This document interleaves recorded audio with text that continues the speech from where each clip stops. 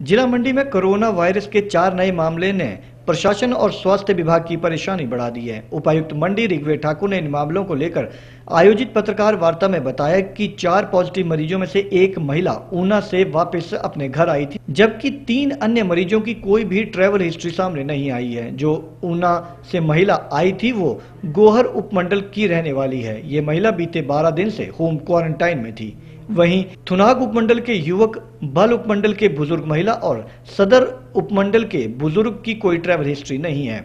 उन्होंने कहा कि दो लोग जोनल अस्पताल मंडी की फ्लू ओपीडी में जाँच करवाने आए थे, जिनके सैंपल लिए गए थे, जबकि गोहर वाली महिला की तबीयत खराब होने के कारण उसे घर जाकर उसका सैंपल लिया गया था। बल वाली महिला मेडिकल कॉलेज नेर चौक में उपचाराधीन थी, जहाँ से उसका सैंपल लिया गया। उपायुक्त ने बताया कि ऐसा अनुमान लगाया जा रहा है कि इन संक्रमित व्यक्तियों के परिवार में से किसी को कोरोना हो सकता है, जिसके चलते परिवार के सभी सदस्यों के सैंपल लेकर उन्हें जाँच के लिए भी भेजा गया है। उपायुक्त ऋग्वेद ठाकुर ने कहा कि ये पता लगाने की कोशिश की जा रही है कि इन लोगों में कोरोना वायरस कैसे आया और जल्द ही इसका पता भी लगा लिया जाएगा। जो लोग कोरोना पॉजिटिव पाए गए हैं, उनके घर से तीन किलोमीटर के दायरे को कंटेनमेंट जोन घोषित किया गया है। इससे पूरी तरह भी सील कर दिया गया है। बाल उपमंडल की महिला पहले से बीमार थी, इससे जिला के दो निजी अस्पतालों में भी उपचार करवाया है। इसलिए इन निजी अस्पतालों की ओपीडी को भी फ़िलहाल बंद कर दिया गया है। उन्होंने बताया कि पूरे अस्पताल को सैनिटाइज किया जा रहा है। वहीं अस्पताल में जिन जिन लोगों से उसका संपर्क था, उनकी भी पूछताछ शुरू कर दी गई है।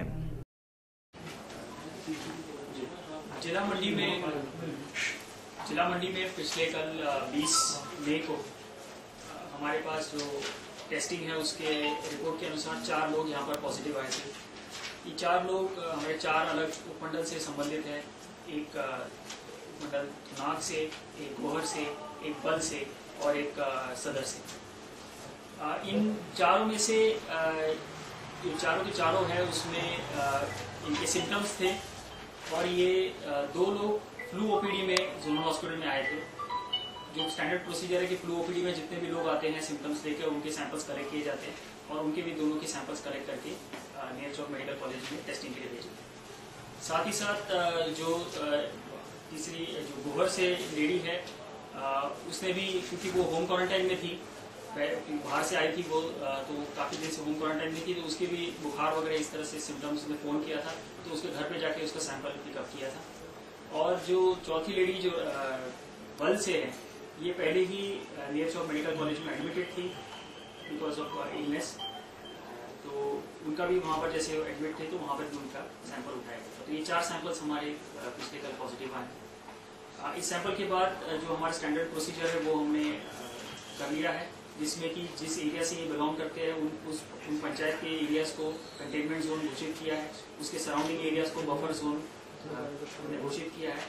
और इसको जितना एफिशिएंट रख सकते हैं, उतना एफिशिएंट रखा है। बहुत ज़्यादा एरिया उसमें नहीं लिया जितने गवर्नमेंट के नॉर्म्स है, और जो डिफाइंड बाउंड्रीज है, उसके अनुसार इनको एरियाज़ को आइडेंटिफाई किया है सभी की प्राइमरी कॉन्टैक्ट लिस्टिंग हमने की है, जिसमें ऑन एवरेज हर व्यक्ति के दस एक कॉन्टैक्ट्स है, जिसमें कि फैमिली मेंबर्स हैं और बाकी लोग हैं। तो उन सबके आज कल में हम सैंपल्स पिकअप कर लेंगे जनरली हम थोड़ी देर बाद सैंपल्स पिकअप करते हैं, पर इस सिनारियों में क्योंकि इनमें से जो लोग हैं, इनकी बहुत ज़्यादा ट्रैवल की हिस्ट्री हमें तक, अभी तक पता नहीं चली है। इसलिए इनकी हम सैंपल्स पहले पिकअप कर रहे हैं, क्योंकि अंदेशा ये लगाया जा रहा है कि शायद कोई और फैमिली का मेंबर है जो कि शायद पॉजिटिव है उनकी वजह से ये लोग इन्फेक्ट हुए होंगे संक्रमित हुए होंगे। तो इस कड़ी में इस तरह से हमने अभी एक्टिविटी की जहाँ ये चार लोगों की बात है, उसमें जैसे मैंने कहा कि जो गोहर की एक लेडी आई थी, वो जो हमें प्राथमिक सूचना मिली है, वो ऊना से आई थी। उसको भी यहाँ पर आके बारह एक दिन हो गए थे। और वो, क्योंकि पहले हमने रखा था कि जो ऊना और कुछ एरिया से लोग आएँगे उनको हम क्वारंटाइन में रखेंगे। इसके लिए उनके उनके पूरी परिवार उनका पूरा परिवार आया था और पूरा परिवार उनका क्वारंटाइन में था।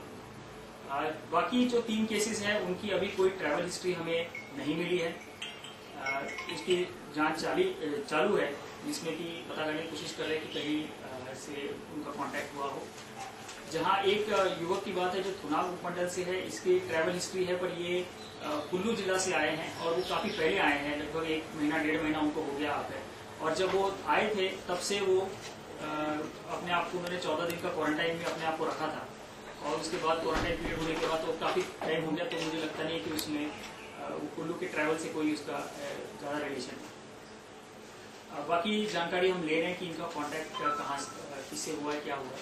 और हमारे लिए जो मेन फोकस है, वो जैसे स्टैंडर्ड प्रोसीजर भी होता है कि जो पॉजिटिव लोग आएँगे, उन पॉजिटिव लोगों के जितने कॉन्टैक्ट ट्रेसिंग है, वो करनी है।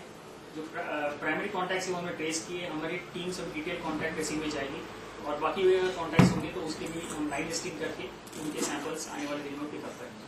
साथ ही साथ जो पूरा कंटेनमेंट जोन होगा, वहाँ पर हमारा एक्टिव सर्वेलेंस होगा, जिसके लिए हमारी सर्वेलेंस टीम्स हर पंचायत में, हर वार्ड लेवल पे, हर गाँव के स्तर पे टीम्स पहले ही घोषित हैं। ये टीम्स घर घर जाके हर व्यक्ति से पूछेंगे कि जो पॉजिटिव व्यक्ति आया, उसके साथ किसी का पिछले पंद्रह दिनों में कोई कांटेक्ट तो नहीं हुआ।